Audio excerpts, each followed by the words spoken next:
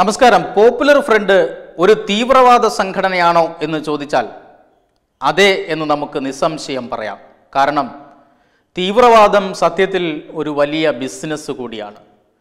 ലോകരാജ്യങ്ങൾ നിരോധിച്ചിട്ടുള്ള പല കച്ചവടങ്ങളും നടത്തുവാനും അതുവഴി സമ്പാദിക്കുന്ന കള്ളപ്പണം വെളുപ്പിക്കാനുമെല്ലാം ചിലർക്ക് ഇത്തരം സംഘടനകളെ ആവശ്യമുണ്ട്. കേവലം ഒരു മതത്തിന്റെയോ പ്രത്യയശാസ്ത്രത്തിന്റെയോ പ്രചാരണമാണ് ഇവർ ചെയ്യുന്നത് എന്ന് വിചാരിച്ചാൽ തെറ്റി. ഇതൊക്കെ ഒരു മറ മാത്രമാണ്. സ്വർണവും ആയുധങ്ങളും കഞ്ചാബും രാസലഹരിയും ഒക്കെ കടത്തി പണമുണ്ടാക്കുക എന്നതാണ് പല തീവ്രവാദി സംഘടനകളുടെയും ലക്ഷ്യം.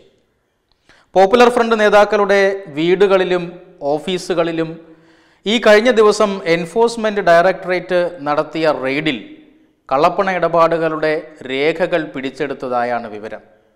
ഇക്കഴിഞ്ഞ ഡിസംബർ എട്ടാം തീയതിയാണ് കണ്ണൂർ പെരിങ്ങത്തൂർ മലപ്പുറം പെരുമ്പടപ്പ് മൂവാറ്റുപുഴ മൂന്നാറിലെ മാങ്കുളം എന്നിവിടങ്ങളിൽ റെയ്ഡ് നടന്നത്.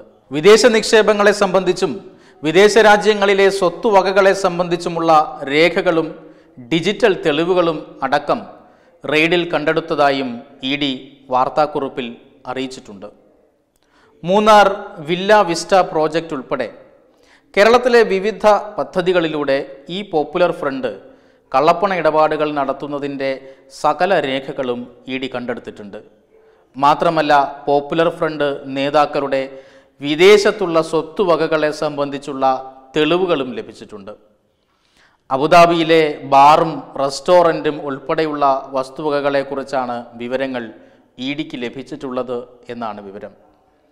ഇക്കാര്യങ്ങളെല്ലാം അന്വേഷിച്ചു വരികയാണെന്നും ഇ ഡി അറിയിച്ചിട്ടുണ്ട്. ഇതാണ് ആ സംഘടനയുടെ യഥാർത്ഥ മുഖം. വിശ്വാസവും മതവുമെല്ലാം ഒരു മറ മാത്രമാണ്. മതതീവ്രവാദം പ്രചരിപ്പിച്ച് സമൂഹത്തെ വർഗീയവൽക്കരിച്ച് സമ്പത്തുണ്ടാക്കുക എന്നത് ഒന്നാം തരം തീവ്രവാദ ഗ്രൂപ്പിന്റെ ലക്ഷണമാണ്. എന്നാൽ ഈ പ്രവർത്തനം ഇന്ന് ഭാരതത്തിൽ ബുദ്ധിമുട്ടാണ്. നമ്മുടെ സമ്പദ് വ്യവസ്ഥ നോട്ട് നിരോധനത്തിലൂടെയും മറ്റു പരിഷ്കാരങ്ങളിലൂടെയും ഒരു ഫോർമൽ ഇക്കോണമിയായി മാറിക്കഴിഞ്ഞു.